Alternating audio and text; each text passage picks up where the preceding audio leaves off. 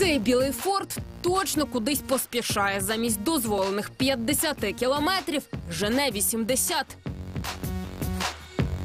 Але тепер залишитися непоміченим на столичних дорогах не так і просто. Скрізь камери фото та відеофіксації. От і цього разу поспішака попався.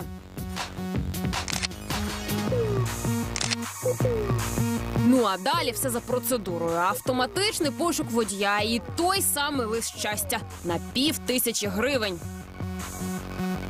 Його адресат Олександр Савченко. Лист від поліції його, м'яко кажучи, здивував. Каже, транспорт із такими номерами в нього є. Однак це старий мотоцикл, який вже півроку стоїть у гаражі Чернігівської області, а не автомобіль, що ганяє столицею. У мене є техпаспорт на мотоцикл, все є. Я не знаю, що такі ситуації звичайно робити.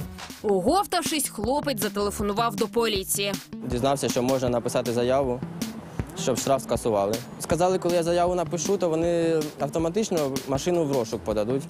Закон повністю на боці Олександра, каже юрист Андрій Вареник. Бо на фото не мотоцикл, а автомобіль.